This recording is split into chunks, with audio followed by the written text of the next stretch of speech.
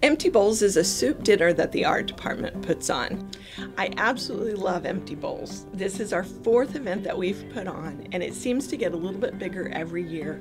I love that it's a way that my students can make art and they can impact the community with their art. I, I love the fact that we have students, uh, we have kids and community members that come to Empty Bowls, and it doesn't matter whether they're four years old or 84 years old. They walk around the bowls and they look for the absolute perfect one that they want to take home with them. And they will clutch it to their chest, but they'll keep looking around because it may not be the best bowl, and they have to get the absolute best bowl. And then sometimes they'll go eat, and then they'll come back and look again just to make sure they've got the perfect bowl for them. It's really, really exciting to watch. So far, we've made over $5,500.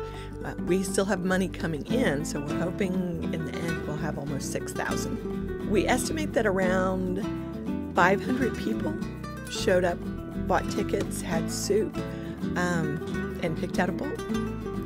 I think this year we doubled our attendance. So it's, it's, crazy. It was absolutely awesome. We had lines across the cafeteria for almost the first hour of the event. Um, we're going to have to restructure how we organize everything next year uh, because we hope that attendance will grow even more next year. I think we had around a thousand bowls at the event. We had a few left over from last year, but we probably made around 750, 800 bowls this year. Well, it was wonderful.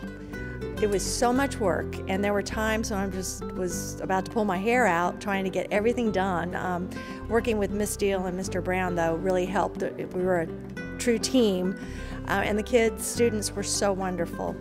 Um, but it was it was great, and after the event, I just could not believe how wonderful it was.